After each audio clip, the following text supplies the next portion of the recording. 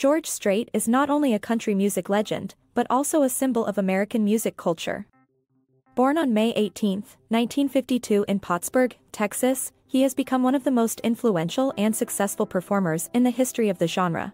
His musical career began in the early 1980s, when his debut album Strait Country, 1981, immediately caught the attention of listeners with its authenticity and profound lyrics.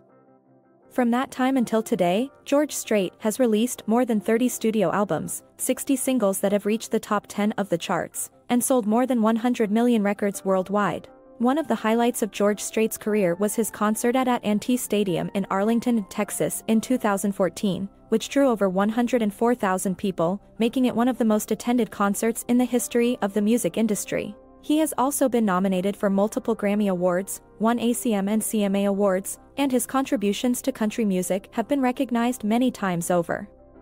In 2006, George Strait was inducted into the Country Music Hall of Fame, underscoring his status as one of the most important and influential performers in the genre.